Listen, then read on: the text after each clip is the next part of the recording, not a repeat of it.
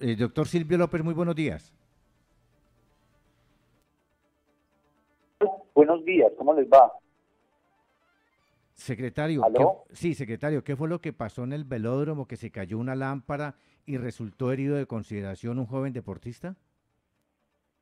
No, no, es un incidente, no fue una lámpara, fue un, un tema de una lona. Sí que sí tuvimos el incidente, el deportista pues, tuvo una lesión, afortunadamente no mayor.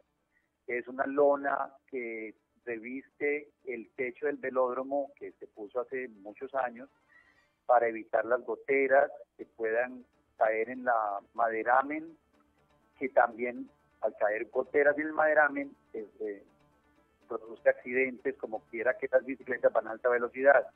Entonces, el tema fue que se cayó una lona, lamentablemente tuvimos este incidente, afortunadamente no pasó a mayores, y sobre el particular se están tomando los correctivos. Eh, sí, porque nos habían dicho inicialmente que era una lámpara que había caído y con la cuerda el, el ciclista pues eh, trató como de enredársele en su cuerpo, pero no pasó a mayores, ¿no? No, no, afortunadamente no.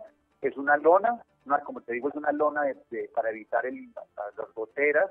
Desafortunadamente, eh, los techos, pues a veces con las goteras, eh, pues salen directamente al maderamen y es, eso es muy peligroso el maderamen mojado a esas velocidades de las bicicletas. Si se trata de que esas lonas evitan esas goteras en grado sumo, pero afortunadamente el incidente no pasó a mayores, como bien lo dices.